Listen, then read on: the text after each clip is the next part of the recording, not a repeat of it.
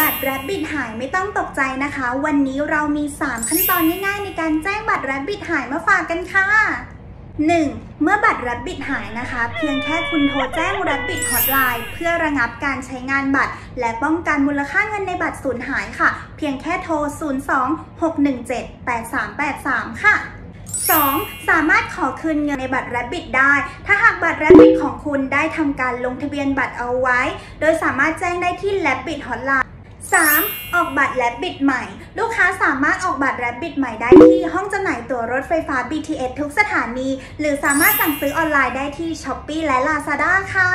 เป็นยังไงกันบ้างคะสำหรับข้อแนะนำที่เราเอามาฝากกันในวันนี้สำหรับใครที่ทำบัตรและบิดหายนะคะ ก็ไม่ต้องกังวลใจกันอีกต่อไปค่ะ แล้วพบกับเรื่องราวดีๆเกี่ยวกับบัตรและบิดได้ที่ช่อง TikTok และบิดการนะคะ แล้วพบกันใหม่ในคลิปหน้า สวัสดีค่ะ